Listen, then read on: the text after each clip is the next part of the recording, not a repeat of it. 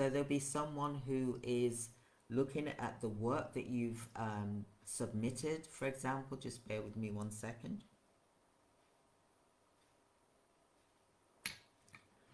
So when you've submitted that tending, you've answered all the questions, you make sure that you've got the relevant insurance in place, that's uploaded.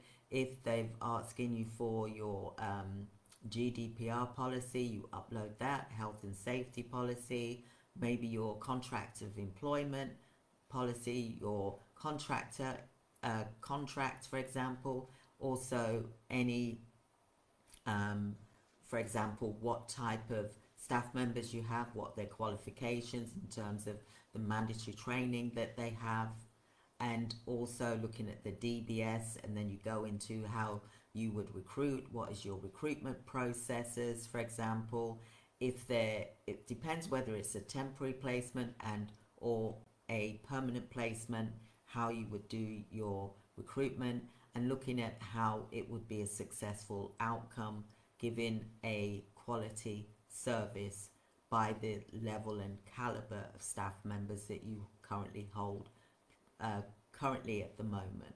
So the person, the buyer, then gets your submission, then they will evaluate your submission against others, and then whoever it is that has submitted the best, they may say, right, okay, we need four um, agencies. It will tell you.